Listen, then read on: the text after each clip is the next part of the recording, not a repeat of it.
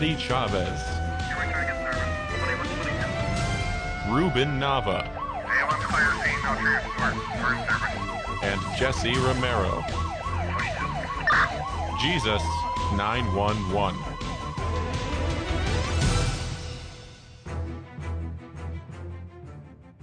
Soul Patrol Jesus 911 two man car. My name is Jesse Romero. My wife, My name's Anita Romero. Good morning. Retired Los Angeles Deputy Sheriff, retired. Retired LA County Department of Health Services registered nurse. So both of us, uh, again, per, first responders. Now we're first responding to people's souls. We're, we we treat we treated the body for many years. Now we're treating the soul. We want to start off with the Saint Michael the Archangel prayer, and today we want to talk about a thing that's very interesting: mystics. We're going to define what a mystic is. Then I'm going to tell you about a, some emails and phone calls that I've had recently. I've had them for years, and that's why we're doing this show. And then we're going to go into what the church teaches about mystics. So let's start off with the St. Michael the Archangel prayer, and we'll do it in the language of Holy Mother, the Church. In nomine Patris et Filii Spiritus Sancti. Amen. Sancti Michael Arcangele, defende in prelio, contra nequitiam et insidiis diaboli est supersidium, impera ili Deus supplices deprecamur tuque, princeps militiae celestis, satanam aliosque, spiritus malignus, quia perditionem animarum perogantur in mundo, divina virtute, in infernum detrude. Amen. In nomine Patri, et Filii, et Spiritus Sancto. Amen. Mystics in the Catholic Church. I've had a couple of phone calls. My wife gets these phone calls as well. We have a, a two man apostolate. It's called On Fire Evangelization. We, uh, my wife and myself, when we left the, the county of Los Angeles, uh, when we retired, we started just becoming Catholic missionaries. We just saw such a need in the church to proclaim the gospel of Jesus Christ authentically from parishes to parishes because we just got tired of the kumbaya, balloons, banners, and butterflies Catholicism. So we are literally two Americans of Mexican descent that have left law enforcement and nursing and have given ourselves over entirely to our Lord and our Lady in service of Holy Mother Church to proclaim the fullness of truth. And I want to let you know that uh, because of the COVID virus, uh, virus, we have not uh, uh, stopped our mission. We're we're still counseling people over the phone, uh, the radio.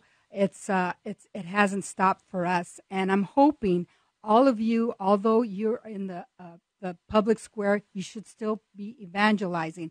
Just because we have some glitches and the way we are worshiping our Lord and un- unable to go to mass, we can still evangelize and know that Jesus is our hope.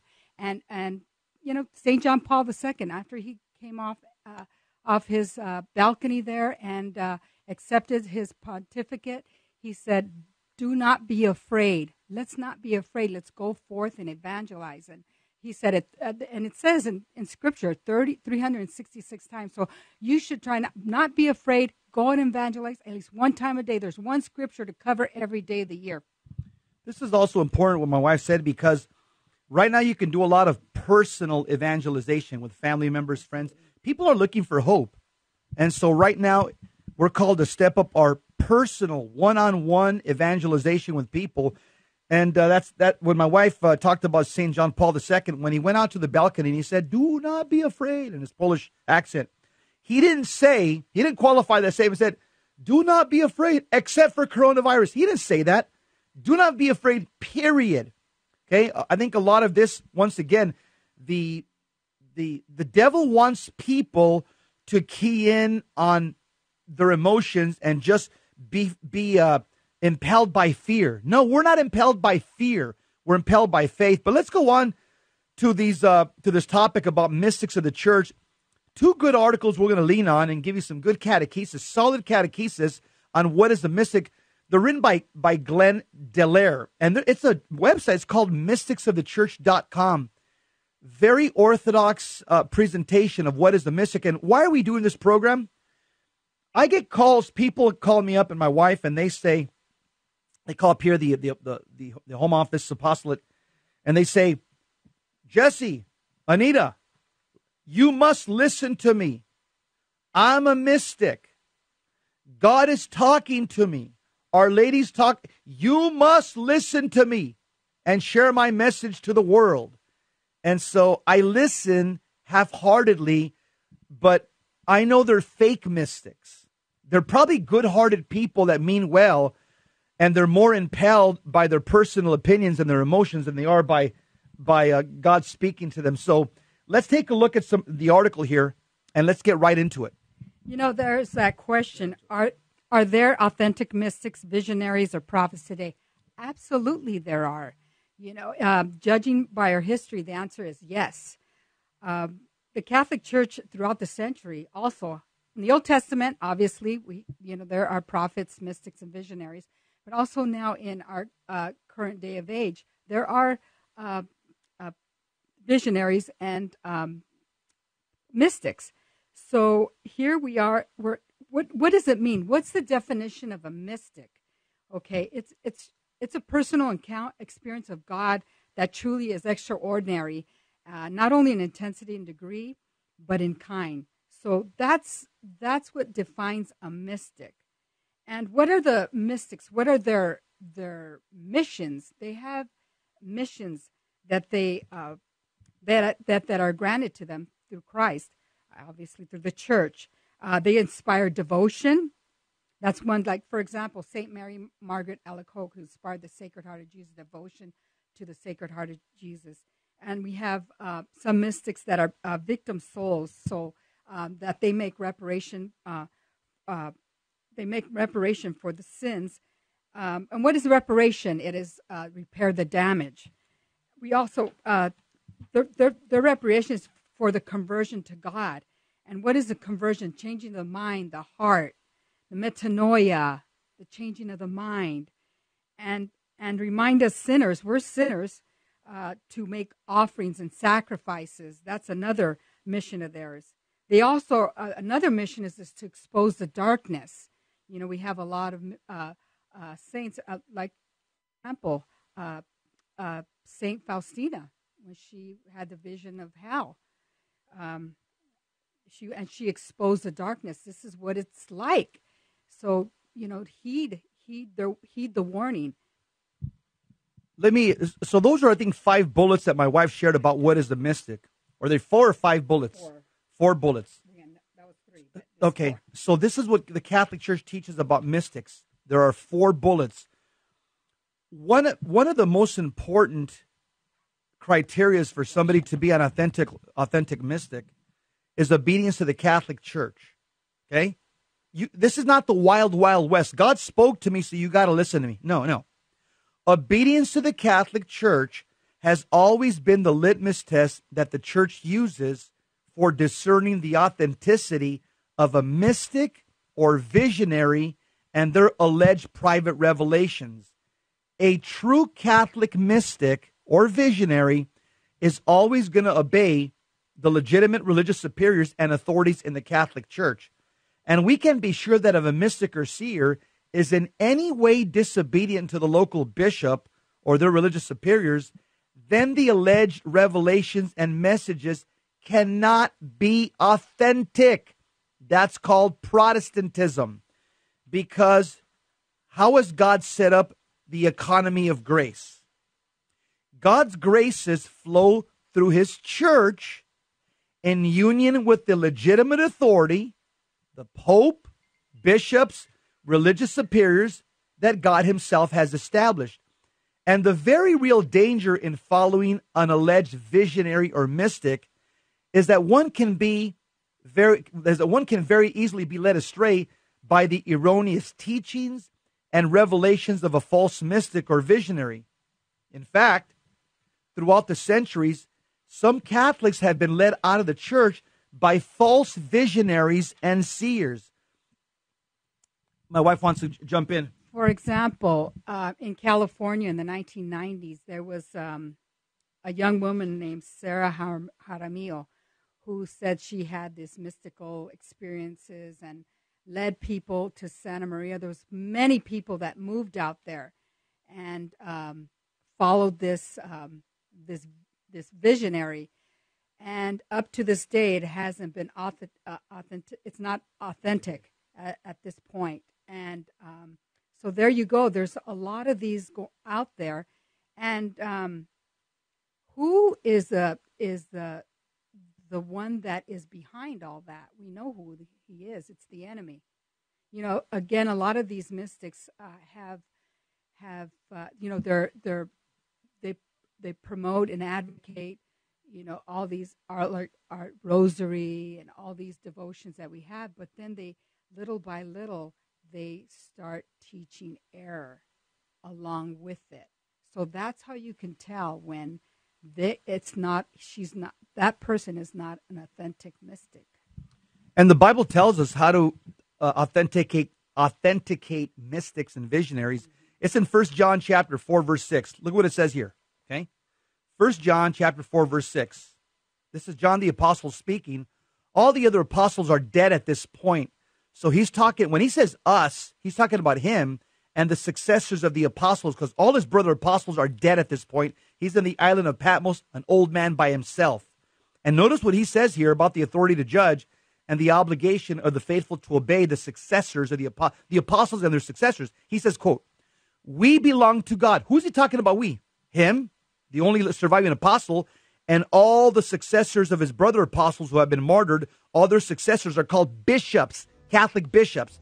So he says, We belong to God, and anyone who knows that knows God listens to us, while anyone who does not belong to God refuses to hear us.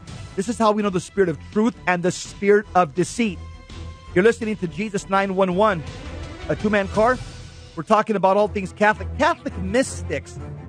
And why this is so dangerous because the devil can deceive you to a false mystic. We'll be back.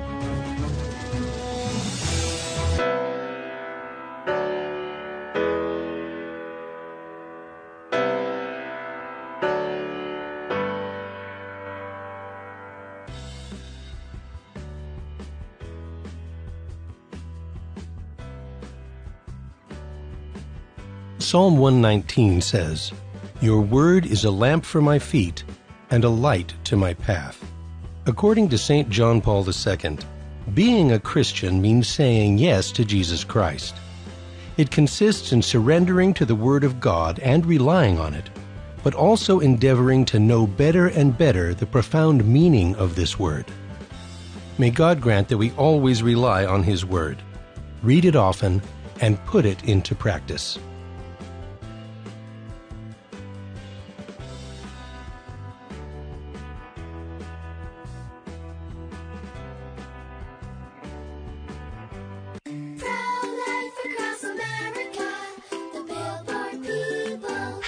Baby move in your tummy? How does the baby eat? Can the baby hear me? How did the baby get in there? Wow, a pregnancy can sure generate a lot of questions. But what's important is that a baby is a baby, inside and out of the womb, not just after birth, but nine months before at conception. That's right. Every baby is a miracle. Hello, my name is Marianne Kuharski. I'm the director of Pro Life Across America. If you know someone who is pregnant or in need of alternatives or assistance or would like to support the work of Pro Life Across America, please visit our website at prolifeacrossamerica.org or better yet, simply dial pound 250 on your cell phone and say the keyword pro life. Pro Life Across America is non political and totally educational. A baby's heart is beating 18 days from conception conception.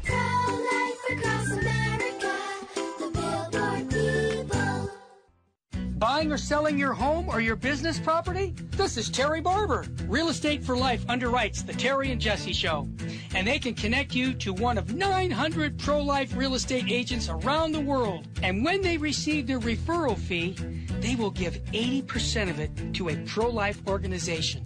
Wow, that's 80%. realestateforlife.org 877 Life US 1.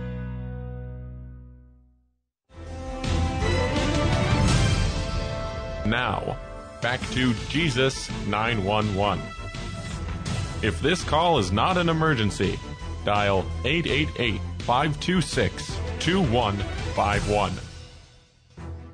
Jesus 911 we're talking about what is a mystic, what's not a mystic. And I say this because I know a lot of you have friends and family members. They mean well. And they walk around telling you, God spoke to me. You have to listen to me. And they push themselves like if they're an actual mystic and a voice in the Catholic Church. And if you don't listen to them, then uh, they get very upset. and they're very adamant about I'm a mystic, I'm a mystic. So we're going right now through what is a mystic, what's not a mystic according to Catholic teaching. And again, I think the verse that just unlocked it in the last segment is First John chapter 4 verse 6. Uh, Anita, what is the us referred to there were John the Apostle's talking about in First Okay. John 4 6? The us in Scripture is uh, the us. John is referring to is the the Peter and his fellow apostles and their successors. That is the Pope and the bishops. Obedience to us is the key that John gives to quote knowing the spirit of truth and the spirit of deceit. The Catholic Church, through the inspiration and the guidance of the Holy Spirit given to the Pope and the bishops alone, has the authority to judge the private revelations of mystics and visionaries, and it is our our obligation and duty to obey the judgment of the Church. Catholics should be aware that the willful disobedience to the Church is a sin. Willful disobedience is when one knowingly and intentionally disobeys the legitimate authority and judgment of the church, i.e., maybe the local bishops. Even should the local bishops mistakenly disapprove of a genuine revelation, obedience to the church always remains paramount. It is also sin to propagate a private revelation disobediently, but it can never be a sin not to propagate one. In other words, like the Bible says, obedience is better than sacrifice. And let's just say, let's just say, for example, if if it there is an authentic private revelation, the bishop says, no, no, no. That's between him and God at his judgment. Okay? Your job is to obey the authority that God has set up. If if, if he's wrong, God will deal with him. For example, it took many decades to authenticate the Fatima apparitions.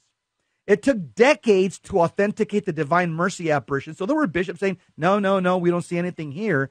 And then throughout the course of time, the church discovered, no, these are actual mystics and visionaries who have received revelations from heaven.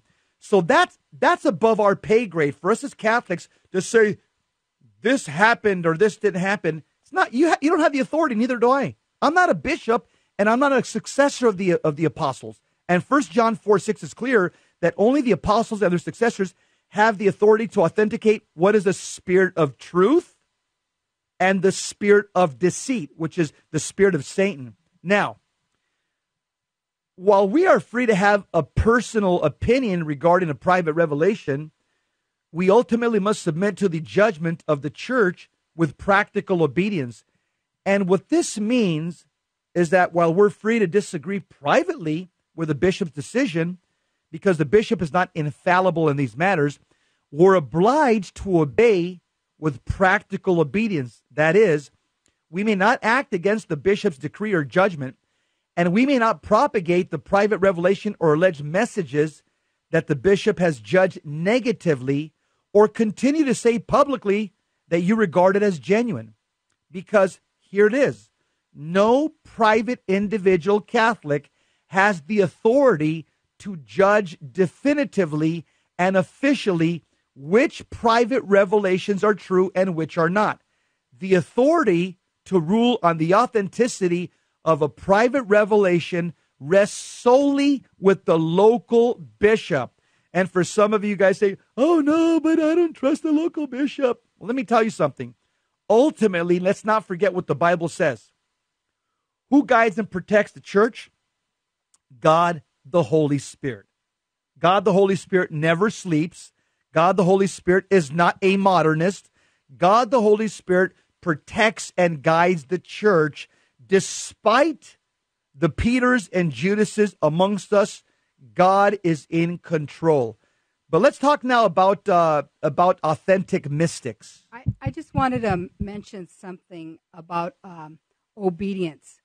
We learn to be obedience from, from the time we're born.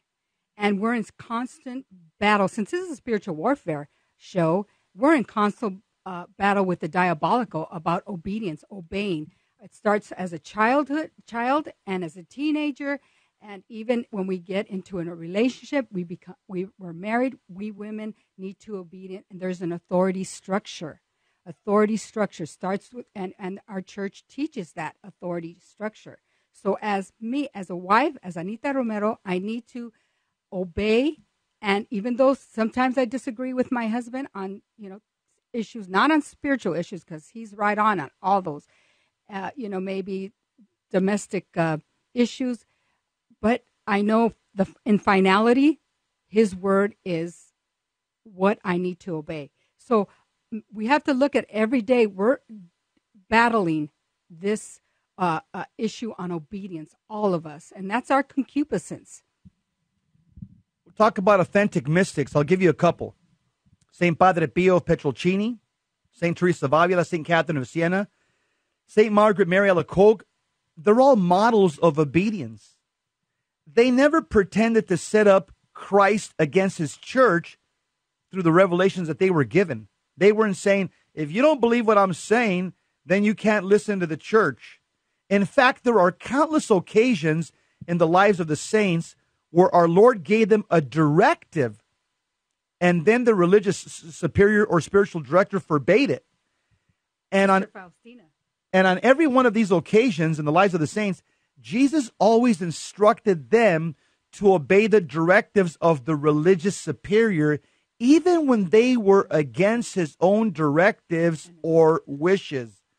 And concerning a mystic or a private revelation, one a Catholic might say, "But but that bishop's a bad bishop, and, and I think the bishop is wrong and his judgment is incorrect." Stop. Okay. Such a sentiment or statement implies that God is not guiding his church or those he has placed in authority over it. So even if the bishop, let's just say, was a modernist, a bad bishop, God still works through him in respect to his office as bishop and shepherd sinful or not, faulty or not, God always has power over his creatures, especially the shepherds who represent him and his church. So again, even if the bishop is incorrect ultimately about his judgment of a mystic or private revelation, one is always correct in obeying his judgment because remember what the Bible says in Matthew chapter 23, verses 1 to 3. It says, Jesus told the crowds and his disciples, the teachers of the law and the Pharisees sit in Moses' seat. In other words, they have authority. So you must obey them and do everything that they that they tell you. But do not do what they do, for they do not practice what they preach. Close quote. So Jesus Christ tells us about this authority that he's established, and this authority has continued until the second coming of Christ. Comments, Anita? You got any comments? No. Okay, so we see how Jesus commands us to be obedient to those who are placed as leaders of the church. Again, even if a particular bishop you deem, in your opinion, to be a bad bishop.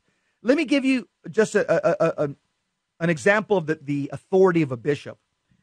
A priest friend of mine who was doing an exorcism, what they did, the person that they were about to start the session on, uh, uh, the possessed person, they brought in they brought in a picture. The team brought in a picture of the local bishop or the diocese, and they held it in front of the energumen, the possessed. They were because they were about to do the solemn rite, and guess what? The demon who started manifesting. A manifestation is when the demon appropriates the senses of the possessed, and the and the and, and the demon basically starts uh, using his you know his senses and his and his and his body to start manifesting his uh his rage. When they show the picture of the bishop to the possessed, the demon began screaming in pain. There was there was incredible pain that the picture of the local why? Why why would a possessed person, why would the demon, the possessed person start shrieking and screaming in pain at the picture of a Catholic bishop? Because the demon understands the order and the military structure that God has set upon the earth. The Catholic bishops are the generals. And that possessed person looking at the picture of the local ordinary of that diocese knows, wow, this priest right now that's about to unload uh, the rite of exorcism over, over me gets his authority from that apostle. And I'm looking at his picture. They showed the picture to torment the demon. And the demon didn't say, oh, I'm not tormented because he's a modernist, he's a liberal. Demons understand the office. Remember, it's the office of bishop that has the office of the apostle, despite the sinfulness of the person. You got any comments, Anita? Yeah, I think um, you know. I think we can uh, just look at our separated brothers here on uh, the d- disobedience issue, where um, they say, "Oh, I don't have to go to confession. I go straight. I don't have to confess my sin, my sins to a man or to a priest. I just go straight to God." Well, he's he's skipping the authority, the steps of authority there. So, uh, is he really confessing to God his sins? Who is he really confessing, or to himself? To convince himself what he's doing is not is is is is okay, and that you're forgiven. No, we have. That's why the mystics, oh, they, one of their missions is reparation to repair the damage. But that's and all of them, all mystics, are, have the the charism of humility. They have that. So we have to all of us we all struggle with with the lack thereof humility so there you go um, I, we've got to pray for our separated brothers and sisters to know that there's healing in in confessing and and the authority of the church so uh, sometimes you'll have these false mystics they'll say they they obey they disobey the the judgment of the local bishop and they defend their disobedience, you know what they say? They'll start saying, Well, I'm going to believe in God rather than man, which is really saying that God has no power over the very bishop that God's commanded us to obey, that God set up through the apostles, and that God, through the Holy Spirit, does not enlighten the bishop or influence him to make the proper judgment. So, this person, therefore, think about it. When they say, I'm going to obey God rather than man, I'm going to obey, I'm going to obey my own uh, obey my own visions, not what the bishop says. What they're doing, they're becoming the, their own bishop and judge and authority of that diocese apart from Christ Church. That's called Protestantism. That's exactly what the devil wants. The devil wants to divide and conquer. And so, in other words, such persons would rather believe in the mystic than the church and thereby set up Christ against his church. That's impossible. That's ludicrous. That's fool's gold. You're listening to Jesus 911. We're talking about what is a authentic Catholic mystic, what's a false mystic. If you like this program, like us uh, and subscribe to us and send this to everybody in your social media. We'll be right back.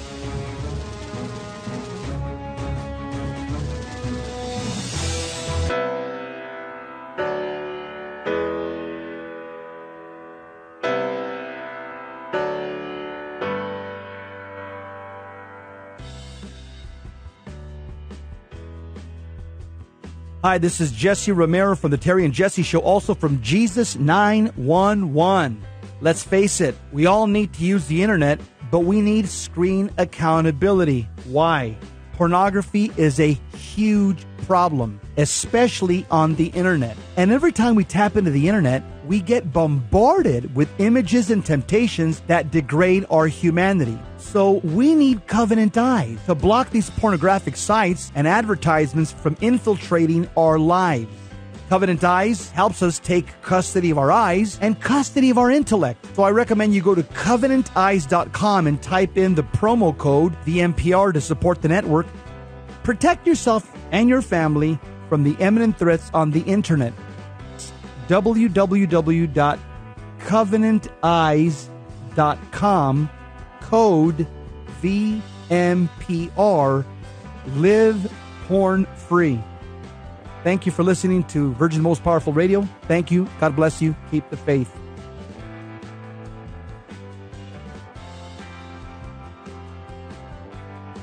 This is Terry Barber. I want to thank you for supporting Virgin Most Powerful Radio. And here's an easy way to support us by going to smile.amazon.com and type in Catholic Resource Center or Virgin Most Powerful Radio. And when you log in your Amazon account and you purchase products, a portion of it will go right back in supporting Virgin Most Powerful Radio. And it doesn't cost you a dime. I want to thank you ahead of time because that supports us year round. May God bless you and your family. Buying or selling your home or your business property? This is Terry Barber. Real Estate for Life underwrites The Terry and Jesse Show. And they can connect you to one of 900 pro life real estate agents around the world. And when they receive their referral fee, they will give 80% of it to a pro life organization. Wow! That's 80%!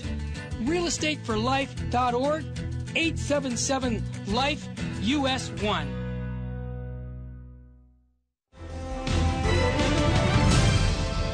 Now, back to Jesus 911. If this call is not an emergency, dial 888 526 2151. Jesus 911, Mondays, Wednesdays, and Fridays, we talk about Catholic warfare, Catholic spiritual warfare from a total Catholic perspective. One of the things that the devil does to try to divide the body of Christ is give us false mystics. There are true mystics, there are true visionaries. There's also false mystics and false visionaries.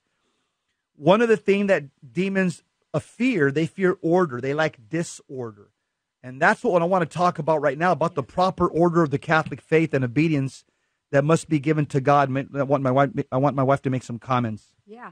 Wow, that's that's heavy. The the proper order of faith and obedience. There's that word. Okay. From the earliest times, uh, the Catholic Church has always taught that the correct order of one's obedience and the assent of faith of faith is to be given to God first then the church that he founded upon Peter and the apostles. Now, it should immediately be noted that the normal channel in which God works is in and through his church. In addition, the church has always taught that private revelation, even church approved private revelation, is not a requirement of faith and belief. For example, faithful Catholics are not obligated to believe in the pro- popular private revelations of, say, Fatima or Lourdes, etc.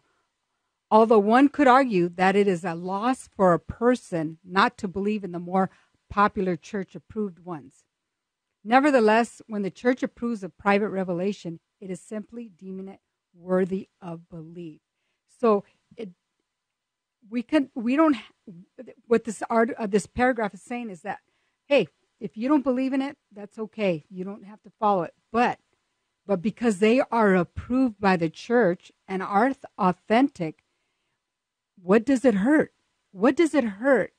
To it's worthy of belief. It's worthy of you, of increasing your faith in our Blessed Mother and what the messages she uh, uh, has given to us through the visionaries. I forget which pope it was recently. One of the recent popes said that all the private revelations that are approved are simply a repetition of the four gospels. That's all they are. Every single private revelation that's approved by the church or the church, church, church calls worthy of belief, all they are is a repetition of the four gospels. Now, on the other hand, some followers of certain visionaries and mystics uh, have the order of obedience and the ascent of faith as being God and the private revelation of their particular visionary as being on the same level. That's wrong. God's public revelation through scripture and tradition is not on the same level with private revelation. And then a lot of again against some followers of certain visionaries and mystics then they actually believe that the church founded by Jesus upon Peter and the apostles seems to uh, seems to be supplanted by their private revelation, kind of as something as is not a requirement of faith, and, and so they'll have the private revelation above the authority of the teachings of the church. That's wrong. And some followers of the, some of these visionaries and mystics they have the revelations of their visionaries, again, as being above the church or at one and the same level as God Himself. That's what Satan wants you to believe. Private revelations don't supplant public revelation. Public revelation is what we live and die by sacred scripture, sacred tradition, and the magisterium of the church. Let me, let me go back to my police training. When I was a cop in the academy, they teach cops if you get in a, in a shooting in a shooting, and they also teach the military. You fire three shots, stop, assess, three shots, stop, assess, three shots, bam, bam, bam, stop, assess. Military teaches that, law enforcement. Three shots, stop, look, assess, three shots. Three, you know what the three shots that we have? Scripture, tradition, the magisterium. We don't have a one shot, the visionary, what he says, and now forget about everything. Everything goes out the window. No. Don't allow, in other words, the point that I'm making here is that the important elements of of a, of a false mystic and a visionary, the important elements of their faith and belief is based on the private revelations that they're receiving or of the visionary that they're attached to, which supplant or add significant additional elements to the true doctrines of the Catholic Church. And they believe that, again, they almost believe that their private revelation supplants what Jesus has given to the church through the deposit of faith. Speaking of deposit of faith, I just put a custom license plate on my truck here in Arizona. It's Jude chapter 1, verse 3. And it's because that I want to let everybody know where I drive to look up at that Bible verse. It says, contend for the faith once and for all delivered to the saints. That Jude 1 3 plaque that I have in Arizona, my plates, that's the Catholic faith. That faith that Jude was talking about in the first century that we're supposed to fight for. That's a, that's a lawyer's word, contend, fight for. Fight for this faith once and for all given to the saints, not once and for all given in the 15th century or the 18th century or the once and for all given in the first century to the apostles. That's the Catholic faith. That's what we have to fight for. Private revelations do not supplant uh, the public revelation, Jude 1 3.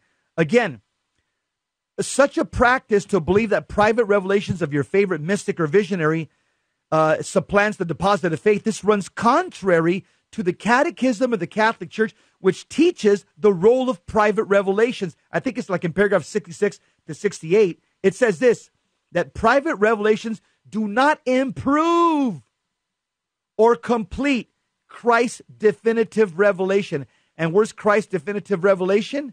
Matthew, Mark, Luke, and John. I want to talk about now some some example of some saints. Yeah, I just wanted to uh, add one thing. Is I think uh, you know when we all of us have these have mystical private revelations. We all have that, but what are we going to do with that? We're gonna it's it's gonna it's gonna spark uh, um, something in our soul to change. That's what these visionaries do. Is they they promote uh, uh, uh, conversion to God, and that's what our own personal revelations, visions are are are intended to do. Is for change towards God.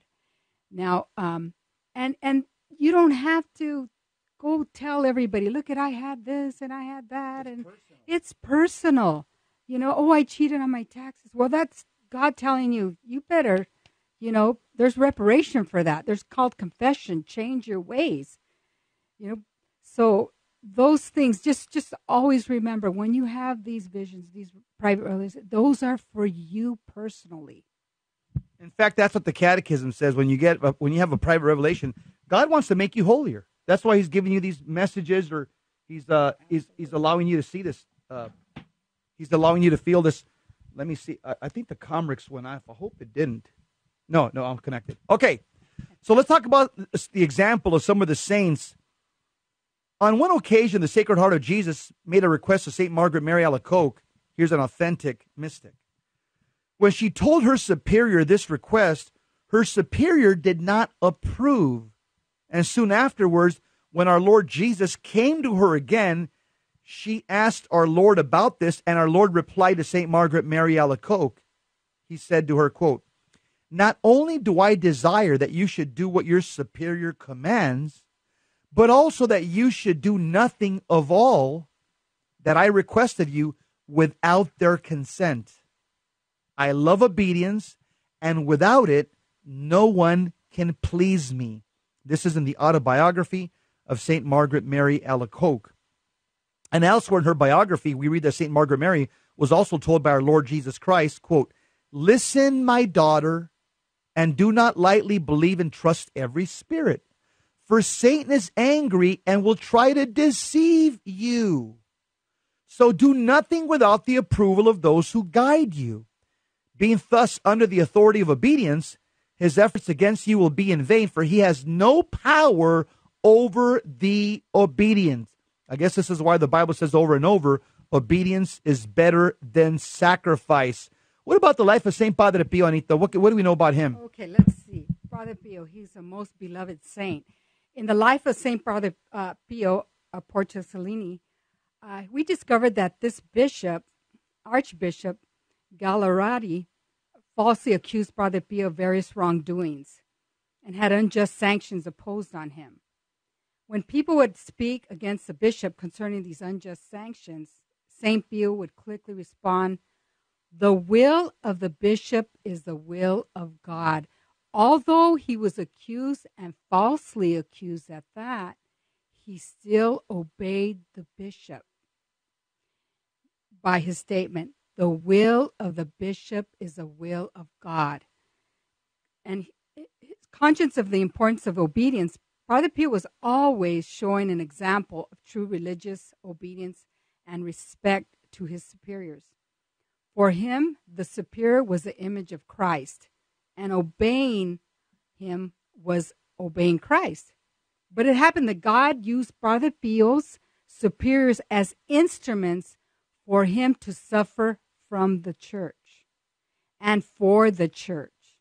And so we see that even if the bishop may be wrong in his judgment, we are always doing God's will by obeying him. Remember, ultimately, we're doing God's will by obeying because we have we have men in authority and we have to obey them.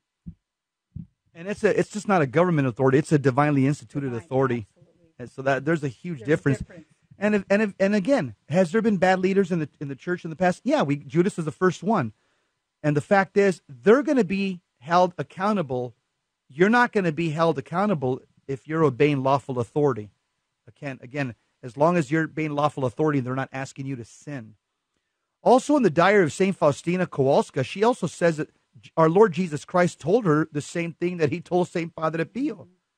Our Lord says to Saint Faustina, "quote Obedience.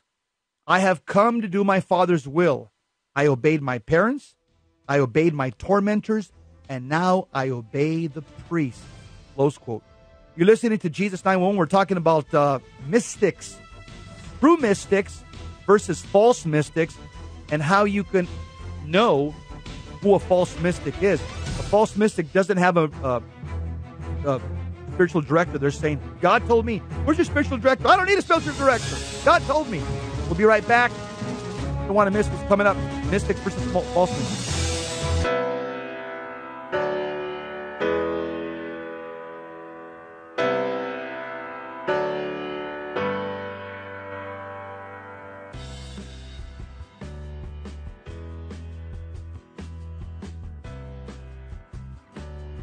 Hands on Apologetics, you have entered into Virgin Most Powerful's Apologetics Dojo, where we go wall to wall with defending, explaining, sharing the faith. Master apologist Karlo Broussard. Karlo, welcome to Hands on Apologetics. Hey, Gary, it's great to be back in the dojo, my friend. Master apologist Ken Hensley. Welcome to Hands on Apologetics. Good to see you again, Gary. Good to be with you.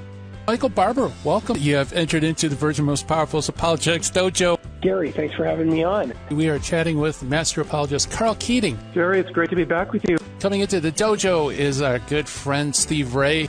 Thank you, Gary. Good to be here. Tim Staples, welcome to Hands on Apologetics. Hey, it's great to be with you, Gary. Thanks for having me on. Join many others in Gary Michuta's Apologetics Dojo. We have some of the best Catholic apologists in the nation. Streaming live weekdays from 10 to 11 a.m. Pacific. Hands on Apologetics on Virgin Most Powerful Radio.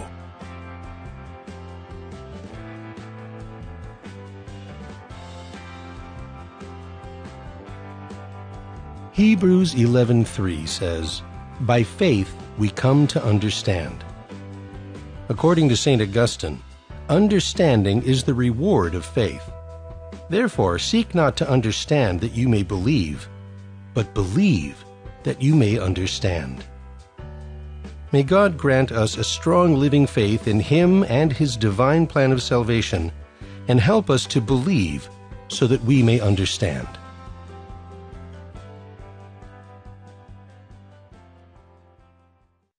Buying or selling your home or your business property? This is Terry Barber. Real Estate for Life underwrites The Terry and Jesse Show. And they can connect you to one of 900 pro life real estate agents around the world. And when they receive their referral fee, they will give 80% of it to a pro life organization. Wow! That's 80%! realestateforlife.org 877 Life US 1.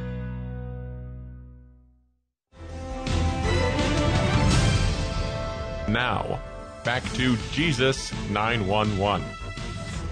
If this call is not an emergency, dial 888 526 2151. Hey, if God speaks to you audibly or inaudibly, He's calling you to become holy or of Our Lady or a saint. That's it's for you. It's so you can become holier. By the way, if you want to read a good book on authentic mystics, it's called Mystics of the Church by Evelyn Underhill. And you'll see that in that book that in every century, the Catholic Church has always had mystics, but in most recent times, and again, a mystic is somebody that re- receives extraordinary revelations from God. In recent times, who are some of the big mystics, some of the big hitters? St. Padre Pio died in 1968. Uh, you have uh, St. Faustina, died in 1938 of the Divine Mercy fame. We have also the uh, extraordinary lay mystic and stigmatist, uh, Saint Gemma Galgani. She died in 1903. Those are some of the the powerhouses in, in recent times. And again, another thing very important that I want to just mention is uh, the role of the bishop here. It's how does the church discern a bishop? I mean, a, a mystic. Okay, the bishop is the one that discerns who's a mystic after judging their entire life posthumously after they die, and then the church sees if there's heroic virtue. That's always the standard for being a saint. Was there heroic virtue demonstrated in their life? And then they see if their messages were consistent with what I have in my license plate, the deposit of faith. But we want to talk about, again, another famous mystic, 20th century, Anita and me, we pray this at three o'clock every day, sometimes together, sometimes separate. The Chaplet of the Divine Mercy. This was one of the authentic mystics of the 20th century. So here we go. And um, concerning the obedience St. Faustina further wrote, uh, she said, I understood that our efforts, no matter how great, are not pleasing to God if they do not bear the seal of, of obedience. I understand, O Jesus, the spirit of obedience and in what it consists. It includes not only external actions, but also one's reason, will, and judgment. In obeying your superiors, we obey God. So there, there's the key. The, the, the six words, five, seven words. In obeying our superiors, we obey God. That comes from the diary of Saint uh, Faustina Kowalska. And then he, she continues, and elsewhere in her diary, she also writes Satan can even clothe himself in a cloak of humility, but he does not know how to wear the cloak of obedience. So there you go. You can have a humble person, but if they are disobedient, bam, that's the key. There you go. That should ignite your fire, and whoa, Gotta hold that person suspicious. We continue. And again, St. Faustina writes, I will follow your will insofar as you will permit me to do so through your representative. representative. Oh, my Jesus, I give priority to the voice of the church over the voice with which you speak to me. And in reading the text, we see that our Lord confirmed her action and praised her for it. Also, St. Catherine of Siena, she says much the same as St. Faustina. St. Catherine of Siena, doctor of the church, she says this Oh, how sweet and glorious is this virtue of obedience, which contains all the other virtues, because it is born of charity, and on it the rock of the holy faith is founded. It is a queen, and he who espouses it knows no evil, but only peace and rest. By the way, there is a false mystic in Catholic, just to show you one example of a false mystic. Her name was Sister Magdalena de la Cruz.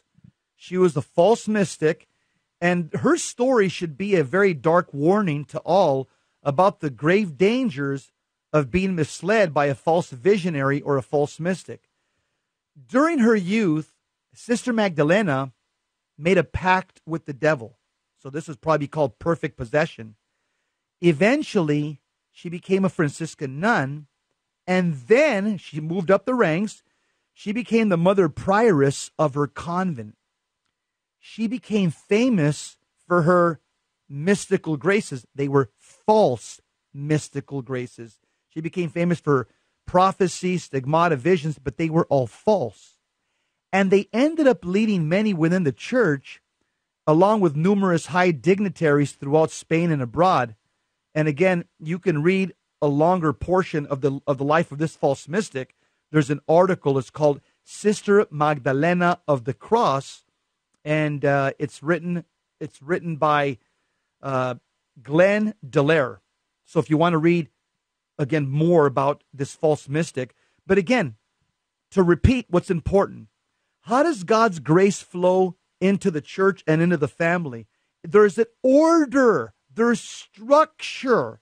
When somebody says, No, no, I'm not going to obey the authority, that's a false mystic because God's grace flows through the order of the church and the family. You know, um, just thinking about this, um, the obedience and these um, mystics uh, that are been authenticated by the church, Father Pio, uh, Sister Faustina, Saint Faustina. It just reminds me of um, the scripture verse that says, uh, uh, uh "Lay your yoke upon me, and I will give you rest." Where Jesus asks us to our yoke. When we are disobedience, we have a heavy yoke. And all those who know what a yoke is, that's that heavy leather um, apparatus around the bulls that are tilling the soil. I can't imagine how heavy that is. While they have it heavy to, they have it there to to keep the bulls from uh, keep on their lane and and and so they can uh, direct them. so the applying the yeah plowing the field. And um, so that's what I think about disobedience as a huge yoke. But then that scripture verse comes to my mind and says, you know, take your yoke upon me and I will give you rest. Just imagine taking that yoke off of this uh, bull and setting aside. You know how rested he is, how relieved. That's what obedience is. That's how we can uh, uh, uh vision it. So, for those that are having difficulties with disobedience, think about that. Because I know when I'm a little bit, you know, disobedient, I, I, I think, gosh, and then I, I, I get back in my lane and, and I, you know, ask for, for um, repentance, and I know then, oh, are you just so relieved? Right on. Listening to Jesus 911 two man car. This is a husband and wife team, spiritual warfare.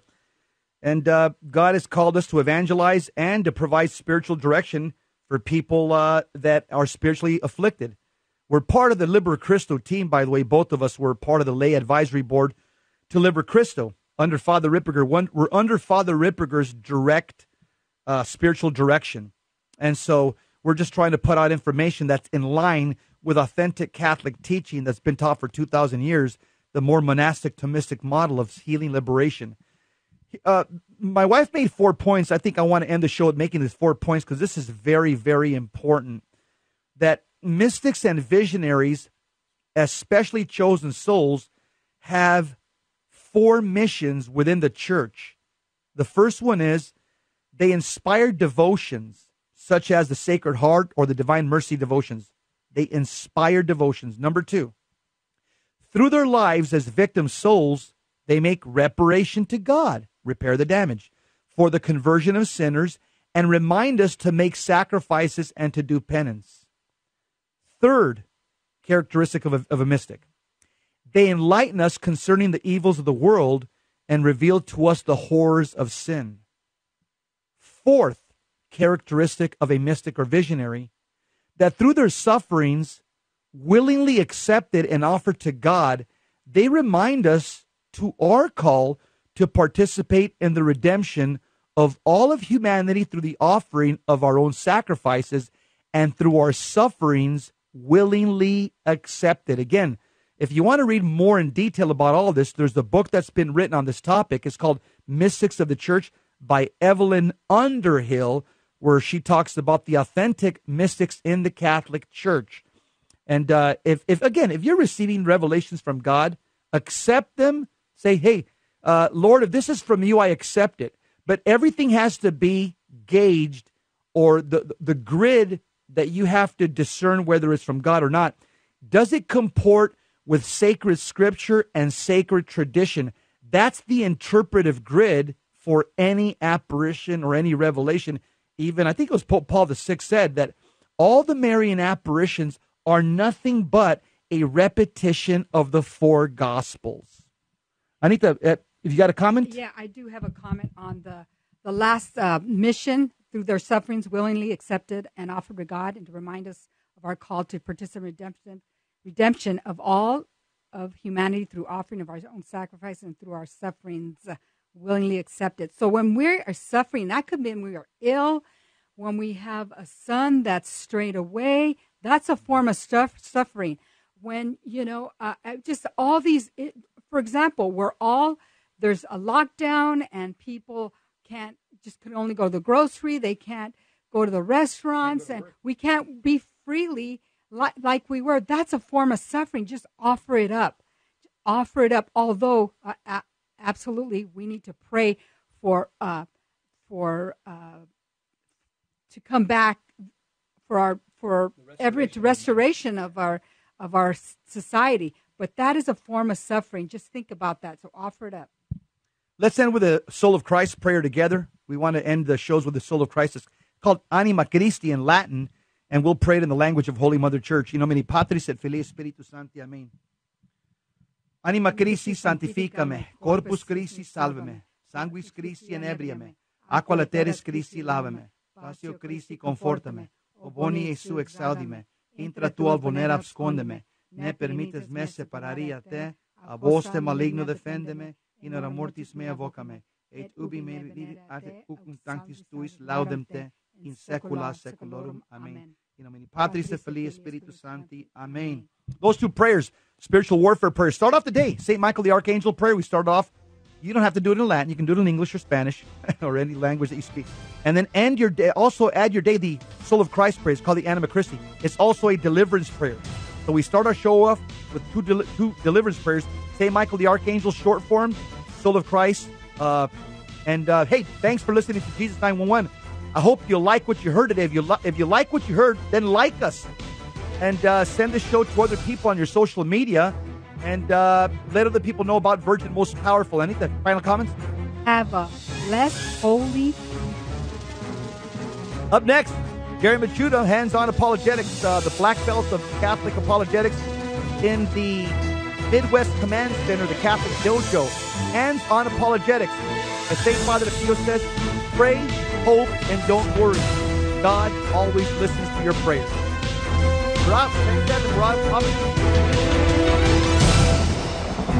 St. Faustina's Prayer for Priests. O my Jesus, I beg thee on behalf of the whole Church, grant it love and the light of thy Spirit, and give power to the words of priests, so that hardened hearts might be brought to repentance and return to thee, O Lord. Lord, give us holy priests. Thou thyself maintain them in holiness. O divine and great high priest, May the power of thy mercy accompany them everywhere, and protect them from the devil's traps and snares, which are continually being set for the souls of priests. May the power of thy mercy, O Lord, shatter and bring to naught all that might tarnish the sanctity of priests. For thou canst do all things. Amen. Virgin most powerful, pray for us.